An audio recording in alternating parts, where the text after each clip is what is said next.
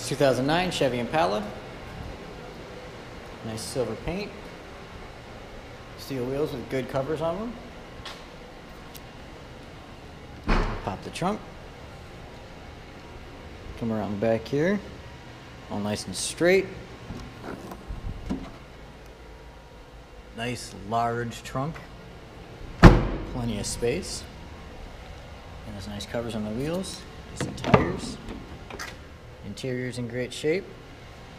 Audio controls on the door.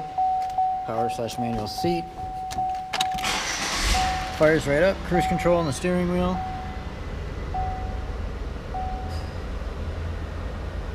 Stereo control, dual climate control. A couple hundred under 53,000 miles. This is still very low miles.